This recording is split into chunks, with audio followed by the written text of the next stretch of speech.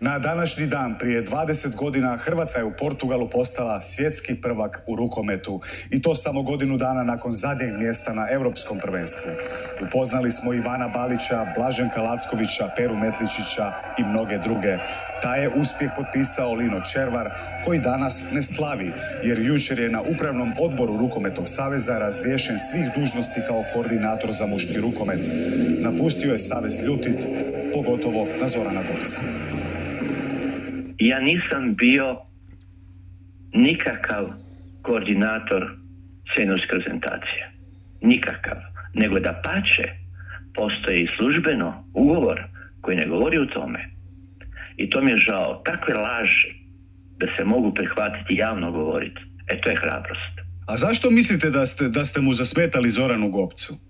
Pa zato što misli da on otac rukometa i ja sam njemu opasnost. A nisam ja nikome opasnost.